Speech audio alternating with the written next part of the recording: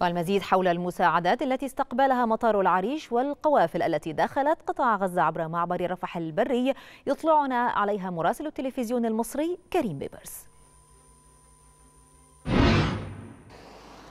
تحياتي لكم وتحياتي لجميع السادة المشاهدين. ما زلنا في متابعة مستمرة لما يحدث هنا في محافظة شمال سيناء وتحديدا معبر رفح المصري ومدينة العريش حيث اليوم الثاني للهدنة التي أطلقت بالفعل منذ أمس في السابعة صباحا والتي بدأت بدخول عدد كبير من الشاحنات. اليوم الثاني أيضا دخل عدد كبير من الشاحنات ولكن ليس كل الشاحنات التي تدخل تدخل بالفعل إلى قطاع غزة، تدخل هذه الشاحنات إلى قوات الاحتلال في معبر العوجة ثم بعد ذلك يتم تفتيشها على مدار وقت طويل جدا. قد يصل في بعض الأوقات من بداية من 12 12 ساعة حتى يوم كامل يتم تفتيش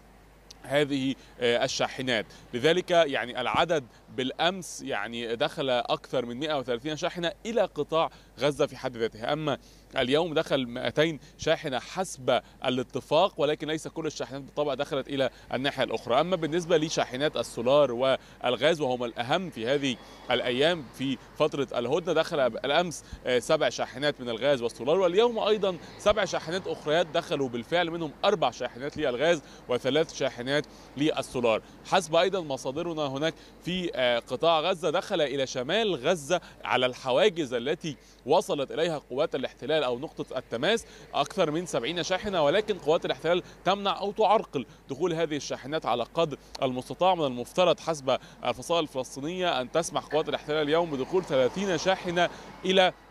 شمال قطاع غزة. أما بالنسبة لصفقة تبادل الأسرى فنتحدث عن أن بالأمس تمت بالفعل أما اليوم فعرقلت قوات الاحتلال أيضا هذا الأمر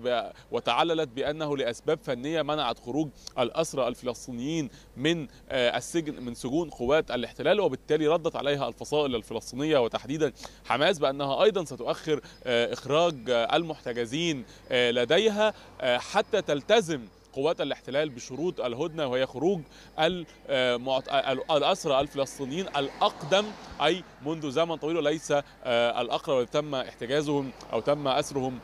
قريبا وأيضا بسبب تعطيل قوات الاحتلال لهؤلاء الأسرى. وهذا بالطبع لا يمنع أيضا خروج العالقين من قطاع غزة داخل محافظة شمال سيناء الذين عادوا إلى أراضيهم برغم قسوة القصف العشوائي للاحتلال إلا أن الفلسطينيين قرروا أن يعودوا مرة أخرى إلى أراضيهم في الناحية الأخرى.